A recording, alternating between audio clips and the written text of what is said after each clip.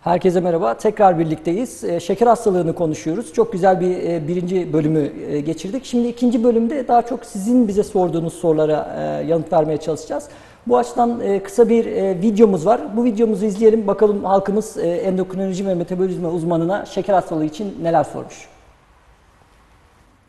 Şeker hastalarına ne tavsiye eder onu, onları söylesin. Biz de yapalım, uygulayalım. Şeker ilacı alıyoruz. Uzun zamandır alıyorum. Ya bunun bir sonu gelmeyecek mi? Yani kesin bir çare bulunamayacak mı? Onu cevaplarsa memnun olurum yani. Beklerine e, nelere dikkat etmeli? Sağlığı için şeker hastaları hangi şeylere dikkat etmelidir? Evet. Yani şeker hastalığı ne gibi besinler yemeli? Şeker oranı sürekli inip çıkarken ne yapmamız gerekiyor? Valla çok doktora gittik. Ona da şöyle mesela ben şimdi sınırda şekerim. E, şekerli bir şey yiyeyim mi? İçmiyorum. En çok da en çok da ona şunu soralım. Kendi bahçemde yetişiyor. Hiç de ilaçlamıyorum. Kilitbayır köyünde. İncir. Hiç olmazsa yazın bana incir mi yememe müsaade eder mi sizin hocanız? Onu sorayım yani. O da isterse gelsin bol bol yesin yani yazın görsün. Ben de onun yanında kaç tane yiyeceğim. Benim gittiğim, akıl aldığım doktor aman diyor görünce kaçacaksın. Ya ben incirden kaçar mıyım? Bu ne olacak beni yani yiyelim biraz incirden. Bunu sorarım.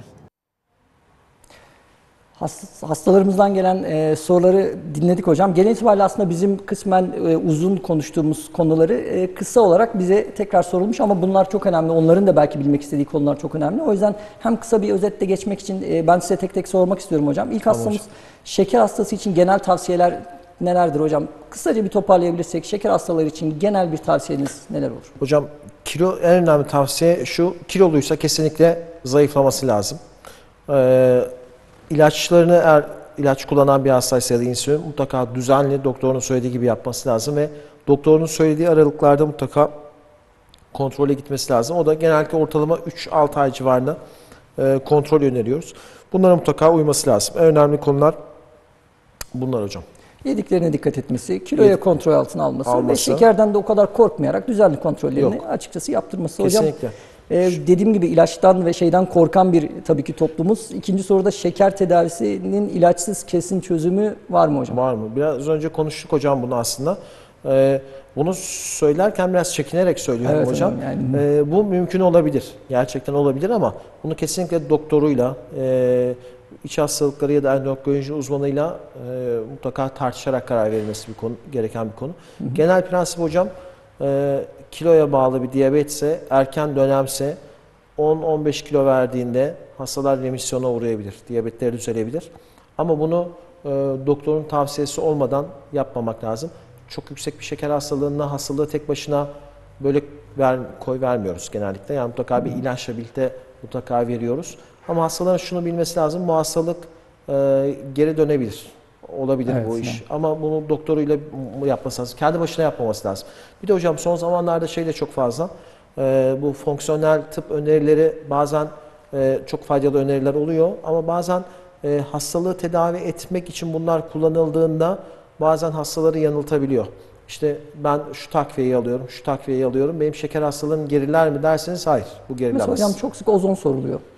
Hocam e, ozon tedavisi gibi yani şöyle benim bilgim hastalardan da çok fazla geliyor bu konu bana da geliyor. Benim bilgim dahilinde bunun şeker hastalığını tedavi etmesi zor gözüküyor. Yani bilimsel mümkün olarak değil, mümkün değil demiyorum. Evet bilimsel şu an kanıtlanmış çok yüksek kanıtlar olan şeyler değil.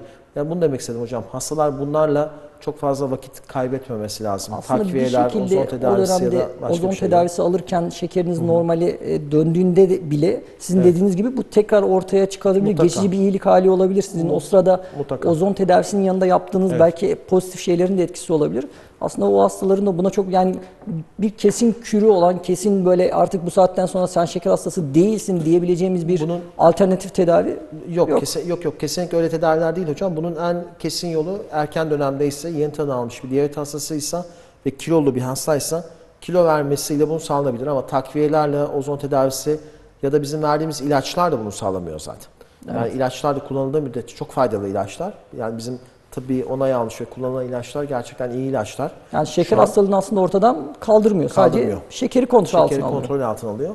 Ama ortadan kaldırılması bazı hastalar için mümkün olabilir. Bunu doktoruyla birlikte konuşması lazım. Hocam belki ileride gen tedavisi ya- yaygınlaşınca bunu olabiliriz. O Olabilir hocam. insülin direncini değiştiren genlerin bir şekilde Mutlaka. Olabilir hocam. vücuda girmesiyle. Şimdi hocam biz bu konuda mesela şunu örnek vereyim. Biz bazen kilodan bahsediyoruz ya. Şöyle bir kavramımız da var. Hasta kilolu ama hiçbir şey yok. Yani o kilo olmasına rağmen o diyabeti yok. Kalp hastalığı riski artmamış. Böyle hastalar da görüyoruz. Bunlar genetik açıdan korunmuş bir grup. Özellikle hocam kiloda şey çok önemli. Burada konu açılmışken onu söyleyeyim. Yağ dağılımı çok önemli vücutta. Bizim e, kiloda korktuğumuz şey aslında iç organların içine yığılan yağ. Visceral yağlanma diyoruz buna. Bazı insanlar yapısal olarak, genetik olarak e, cilt altı yağlanmaya, bu bizim normal periferik yağlanma dediğimiz yağlanmaya çok müsaitler. Kadınlar bazen kozmetik açıdan sevmeyebilirler ama kasan ve ka, e, basen ve kalça yağlanması metabolik açıdan çok sağlıklı. Oralarda depolandığı için yağ iç organlarda depolanmıyor ve hastalar e, o kilolu olmalarına rağmen, tartıda yüksek olmalarına rağmen kan şekerine bir bakıyoruz 90 geliyor hastanın. Yani hiçbir şey yok. Peki hastanın. hocam bir kişi yani aynı iki kiloda birini bahsedelim. Evet. Birisinin e, tehlikeli obez olduğunu, diğerinin Aynen. daha masum obezite olduğunu kriteri var mı Çok- hocam? bu- Bunu bu- ayırt edebileceğimiz bir Bu kriter çok, var çok mı? güzel bir konu. Yani bu gerçekten ilgi çekici bir şey var hocam. Ee, ileri incelemeler de var, basit incelemeler de var. Ama basit inceleme dersek bel çevresi hocam. Bel çevresi eğer yüksekse kişinin çok kilolu olmasa bile e, iç organ yağlanması arttığı için e, diyabet, insülin direnci ve diyabeti var diyebiliriz. Genel olarak hocam er- kadınlarda 80, ka- e, erkeklerde 90'ın üzerinde metabolik çevresi. risk Evet, metabolik şey göbek çevresinden ölçülebilir bu. Risk artışı başlıyor. İşte bunu aşağıya doğru indirirsek de ne kadar erkeğe indirirsek o kadar az zararla birlikte bu işten kurtulabiliyoruz. İleri inceleme hocam. İleri inceleme hocam şu, e, iç organ yağlanmasını e, detaylı ölçen cihazlar var. Bu MR ve CT'ye kadar gidebilir ya da bizim TNT dediğimiz yağ dağılımını gösteren cihazlarımız var. Onlarla eğer ayrıntılı inceleme yapılırsa ama bu bizim rutinde yaptığımız şeyler değil. Ancak Değil. bilimsel araştırmalar Deneysel. için, deneysel amaçlar için e, ya da bilimsel amaçlar için yapılabilir. E, onlarda şey oluyor hocam, e, değişik tehlikeli. karşılaşıyoruz. Şöyle ilginç vakalar var mesela hocam. E, hasta çok zayıf ama cilt altı yağ kapasitesi çok az. Lipodistrofi dediğimiz nadir bir hastalık.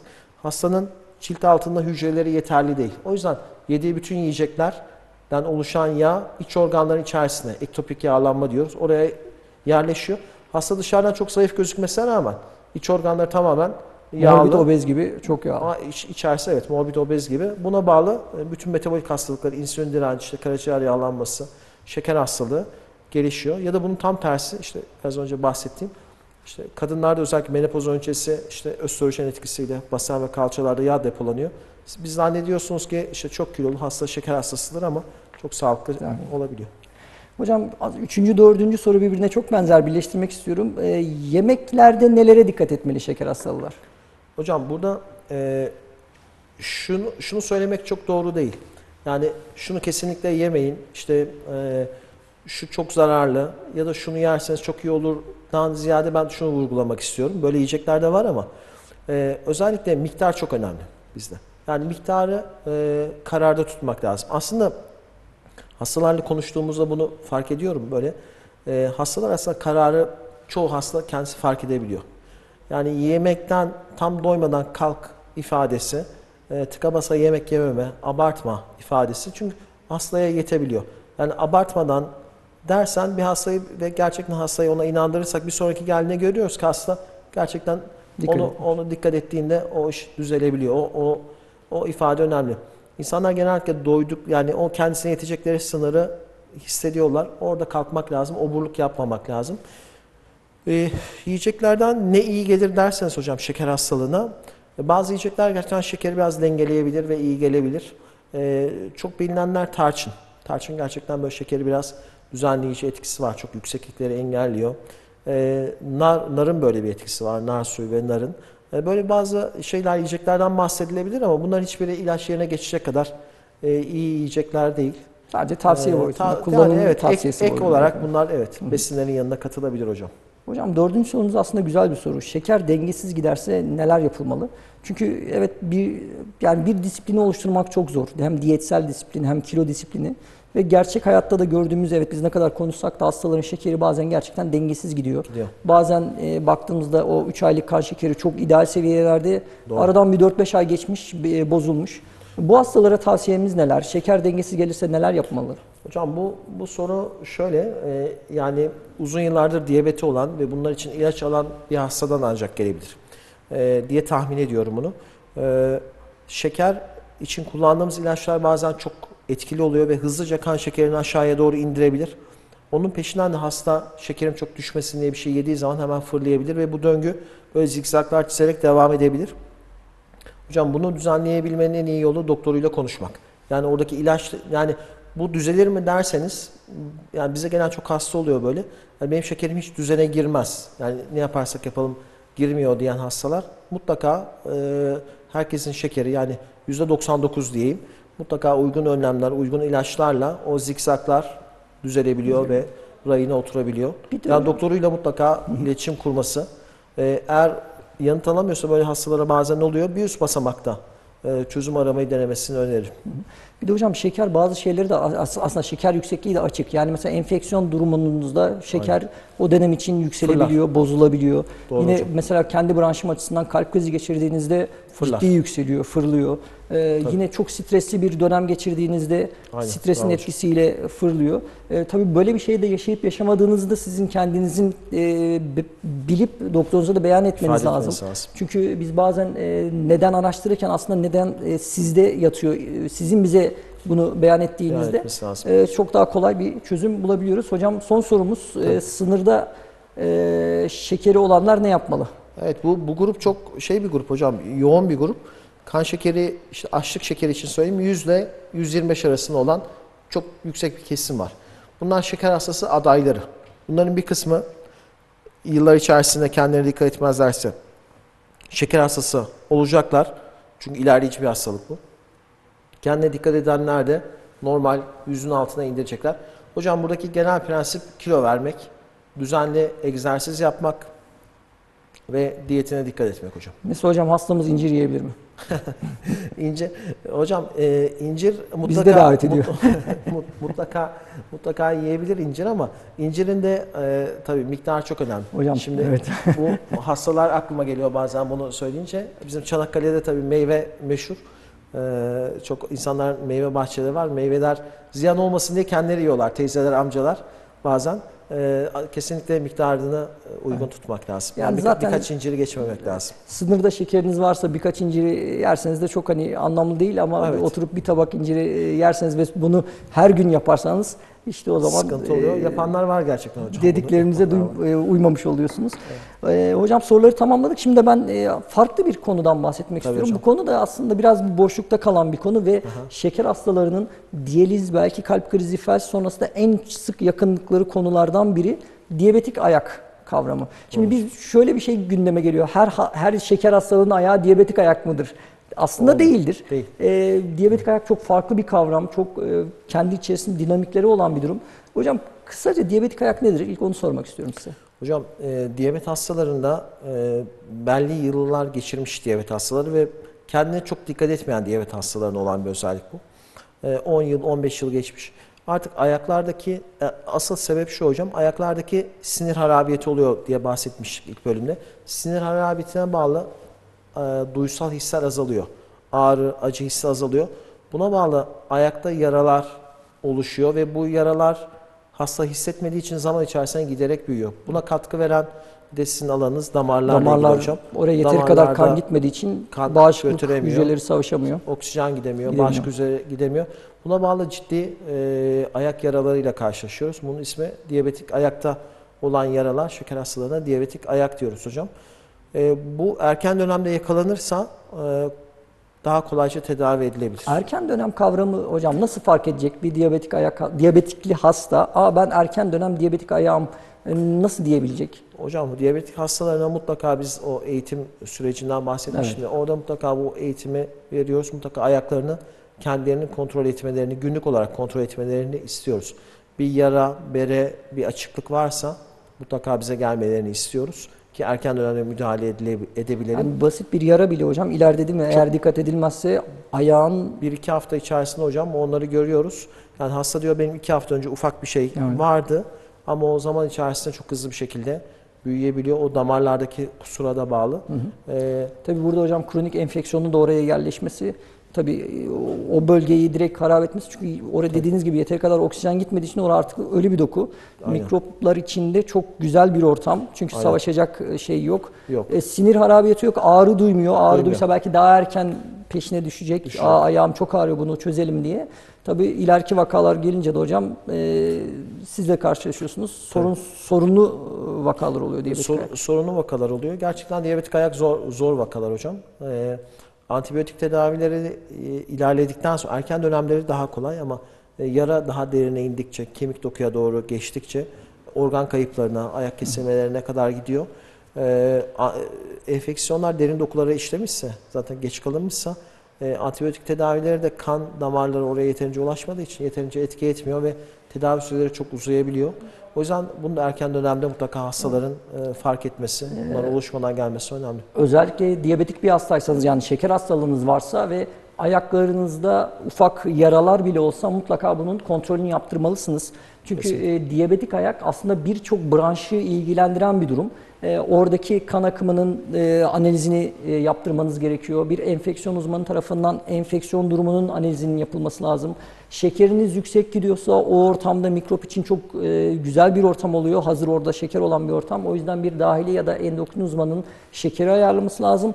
İlerlemiş bir vakaya doğru gidişte de ortopedi uzmanının da erken Plastik dönemde cerrahi, daha er- ya da ortopedi. plastik cerrahinin erken dönemde daha ilerlememesi için de bazı müdahalelerin yapılması lazım. Olması lazım. O yüzden e, lütfen ufak bir yaralarımızda bile kontrolümüzü yaptıralım. E, çok da hızlı ilerlediğini hocamız söyledi. E, benim de hocam e, geçmişte şahit olduğum hastalar vardı bu diyabetik ayak polikliniklerinde. E, kişi kendi geliyor, biz önerilerimizi sunuyoruz ama dikkat etmiyor. Aradan Genel- 3-4 hafta sonra geldiğinde biz şaşırıyorduk yani e, o nasıl ilerler diye. E, tabii ki testlerini yapmadığı için de o anda bilemiyoruz ama daha sonra testlerini yaptığımızda zaten ayak dolaşımının net olmadığı, e, ciddi enfeksiyonun üstüne farklı enfeksiyonlar yavaş yavaş binmeye başladı. Yani o seviyede Siga- olmadan sigara yakalamak çok lazım. önemli bir faktör hocam. Ee, periferik damarları yani o bacak damarlarını direkt fonksiyonlarını bozuyor. Sigara içenlerde de özellikle fazlaca görüyoruz yani. Onda Hocam aslında burada da sigarayı açtınız lan. Ben de sigarayı sevmeyen bir hekim. Öyle, öyle, öyle bir anılıyorum. Hastalarım da zaten her Ne zaman güzel. öyle bilir. Şimdi şeker hastalarının sigara içmesi yani bile bile lades demek. Yani burada biz e, bahsettiğimiz şey kalp krizi, bacak damar tıkanıklıkları, felç. E, bunu biliyorsunuz. Şeker hastalığınız var. insülin kullanıyorsunuz.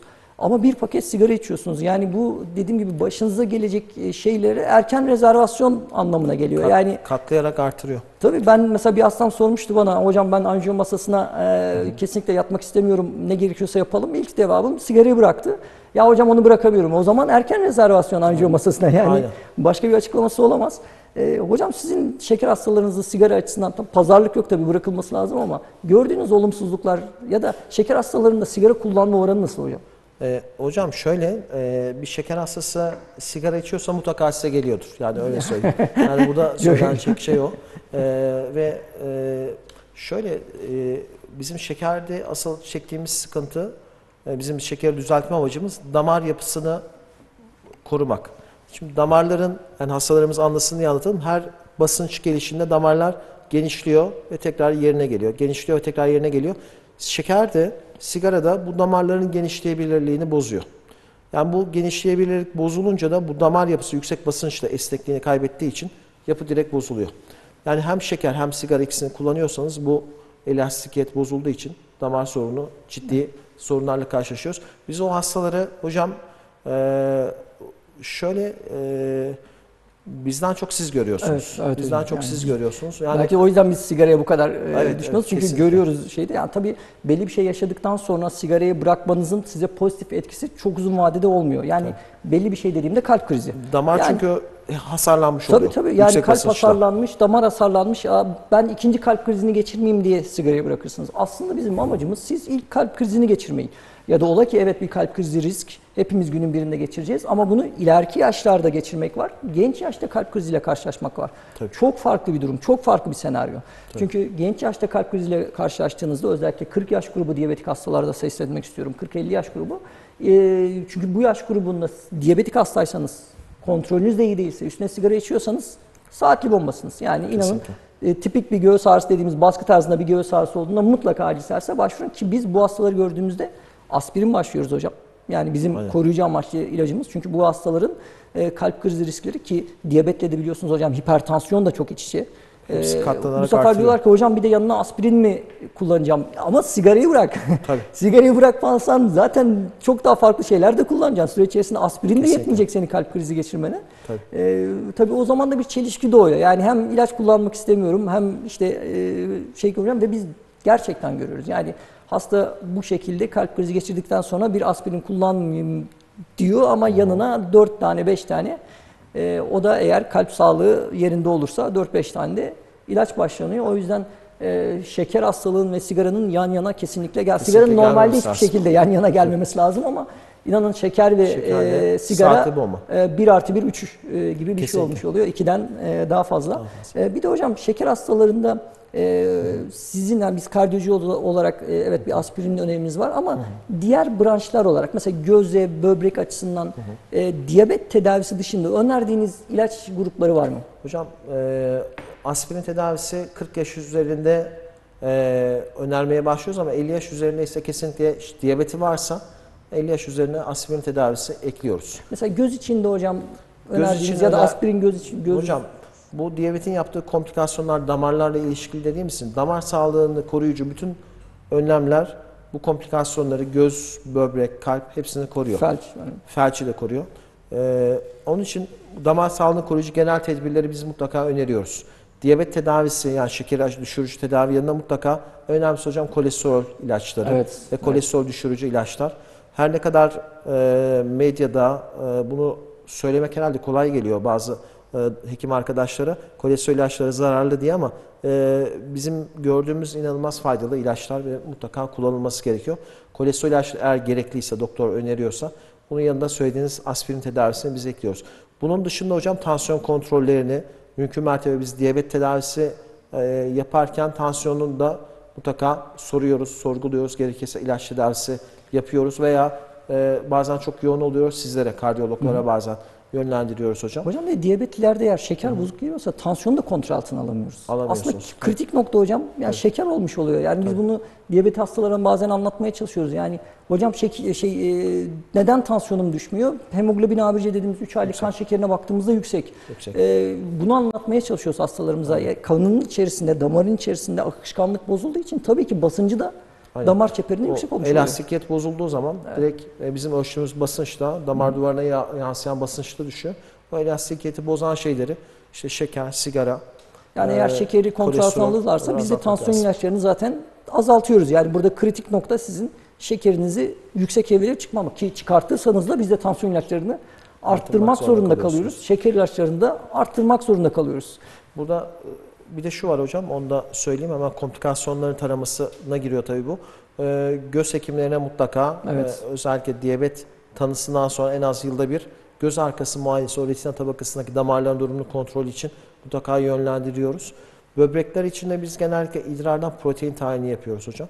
Eğer idrarda protein çıkışı başlamışsa onlar için de ayrıca ilaçlar kullanıyoruz ya da e, seviye daha çok yukarı çıkarsa nefrolog arkadaşlara da yönlendiriyoruz. Ekstradan yaptığımız şeyler de bunlar. Mesela bu açıdan da çok önemli bir şey devreye giriyor. Siz eğer şeker hastalısıysanız eğer süre içerisinde bir böbrek yetmezliği ya da başlangıç seviyesinde bir böbrek yetmezliğiyle karşılaşabilirsiniz. Karşılaşıyoruz. evet. Yanınızda bir de tansiyon tedaviniz varsa bazen kontrole geldiğinizde biz bunu fark edersek eğer tansiyon tedavimizi böbreğe dokunmayacak ya da böbrek yetmezliğini arttırmayacak şekilde değiştiriyoruz. Bunu eğer erken dönemde fark edersek eğer zaten dediğim gibi kontrole giderseniz gelirseniz biz bunu fark ediyoruz.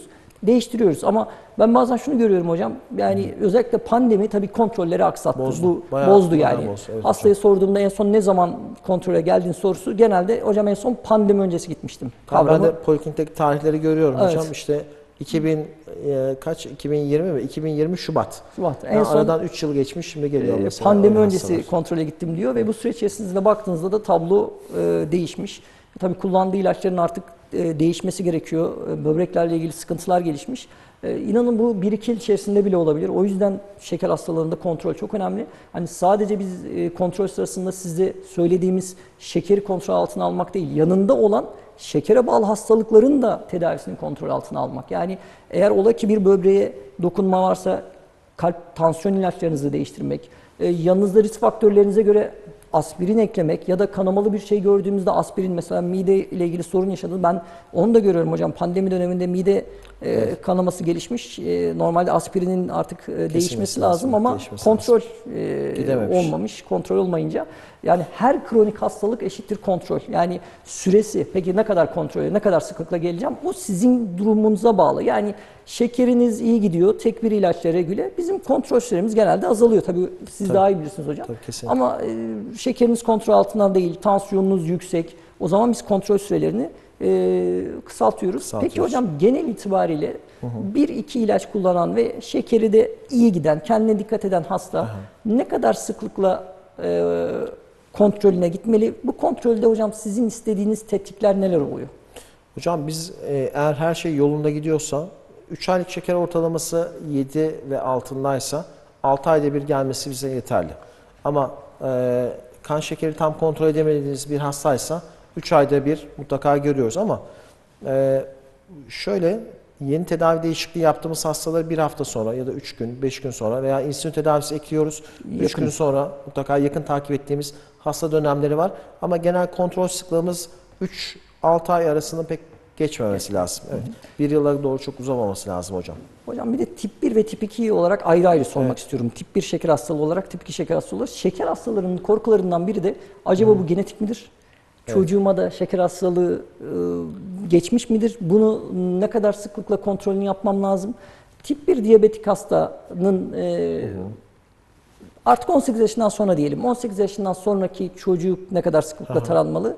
Tip 2 diyabetik olan bir hastanın 18 yaşını geçen bir çocuğu ne kadar sıklıkla taranmalı? Hocam bu genellikle e, çok karıştırılan bir şey. Ben bile bunu öğrenciliklerimde karıştırıyordum. Tip 1 diyabetin yani çocuklukta olan diyabet hastalığının genetik geçişi daha az. Yani biz annede babada tip 1 diyabet varsa çocuklarda %5-6 civarında tip 1 diyabet görüyoruz. Bunun için klasik bir tarama programı şu an yok. Yani önermiyoruz bunu. Tip 2 diyabet ise çok daha kalıtsal. Yani annede babada diyabet varsa çok daha yüksek olasılıkla biz e, diyabet görüyoruz. E, özellikle e, kilo da varsa kişide, ailede de diyabet varsa yetişkinlik yaşa geçtiği andan itibaren şeker mutlaka düzeyine bakmak lazım. Yani 18'li yaşlardan sonra eğer kiloluysa ya da ailede yoğun bir diyabet öyküsü varsa, tip 2 diyabet için söylüyorum, mutlaka kan şekerine baktırması lazım. Normalse de 3 yıl sonra tekrar bakması lazım. Eğer sınırda bir şeker hastalığı varsa önlemlerini alması ve en geç bir yıl sonra tekrar baktırması lazım. E, tip 1 diyabet e, genetik yatkınlık düşük hocam. Yani tip 1 diyabette daha çok e, viral enfeksiyonlara bağlı bir otoimmün reaksiyon gibi görüyoruz. E, onda klasik bir tarama şu an yok çünkü tip 1 diyabette şimdilik şeyimiz yok hocam. Yani erken dönemde bunu yakalarsak geciktirebileceğimiz bir tedavimiz ne yazık ki yok. E, bu konuda bazı çalışmalar var, bazı ilaçlar deneniyor ama şu an bunu klasik olarak önerebileceğimiz bir tedavi ne yazık ki yok. Hocam bunu kısmen de bir hasta bazlı da sormak istemiştim. Ee, bir kalp krizi geçen genç yaşta bir hastam vardı 45 yaşında.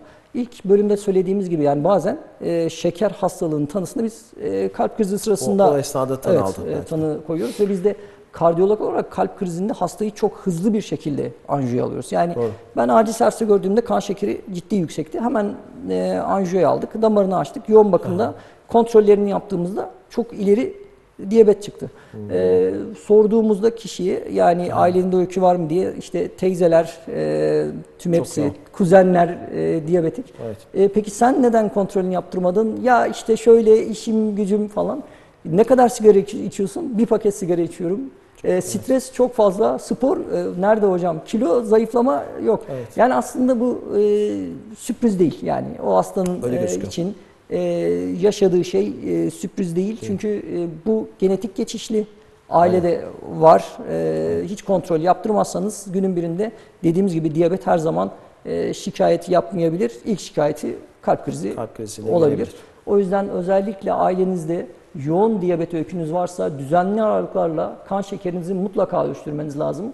Ee, tanı koyacak diye korkmayın. Yani şeker tanısı konulacak aman kontrolleri gitmeyeyim diye korkmayın. Yok, kesinlikle Ee, tedavimiz kolay. Çünkü çok daha ciddi bir şekilde nöroloji servislerinde, kardiyoloji servislerinde ya da diyaliz servislerinde e, bu tanı konulabilir. O yüzden e, dediğim gibi aslında ilk başlarında tanı konulduğunda yol açık. E, sadece bir ilaçla o yola devam ediyorsunuz. Ama ileriki dönemlerde e, çıkmaz sokaklı bir yola sapmış Kesinlikle. olabilirsiniz. E, hocam ben geldiğiniz için çok teşekkür ediyorum. teşekkür Ben ederim. çok güzel bir program olduğunu Çok güzel e, düşünüyorum. oldu, evet. Tüm şeker hastaları, şeker adayı hastalar ve sağlığını düşünen herkese çok güzel mesajların gittiğini düşünüyorum. E, o yüzden e, geldiğiniz için çok teşekkür ederim. Ben teşekkür ederim hocam davetiniz için. Bence çok güzel bir sohbet oldu. Umarım e, bizi dinleyenler için de faydalı olur. Bu hafta da çok önemli bir konuyu konuştuk. Ee, şeker hastalığını konuştuk ki çok önemli e, bilgiler verdik. Farkındalığı arttırdığımızı düşünüyorum ve e, gerçekten de e, hani eve götürülecek mesajlar açısından da e, çok önemli. E, bu açıdan da çok güzel bir e, ikinci programı geçirdik. E, üçüncü programımızda çok önemli bir konuyu yine işleyeceğiz. Aslında bir şikayet üzerinden devam edeceğiz. Bir baş ağrısı şikayetini işleyeceğiz. Çünkü çok yaygın. Ee, basit baş ağrılarla yani yorgunluğa, strese bağlı baş ağrılar da var. Allah göstermesin ama daha komplike, e, beyin kaynaklı ciddi baş ağrılar da var. Tabii herkes ciddi baş ağrılarında hani migrenden tutun da çok ciddi hastalığa kadar değişik şeyler de aklına geliyor. E, bu açıdan e, bu baş ağrısını biz e, bir e, tartışalım, e, masaya yatıralım. Hangi baş ağrıları çok önemli, e, hangilerinde daha detaylı testler yapılması lazım, hangilerinde biraz daha masum yaklaşabiliriz. E, bu konuyu haftaya konuşacağız. Bu açıdan da çok değerli bir hocamız, e, nöroloji uzmanımız, uzman doktor Selda Kap bizimle birlikte olacak. E, haftaya çarşamba 14.30'da tekrar görüşmek üzere. Sağlıkla kalın, hoşçakalın.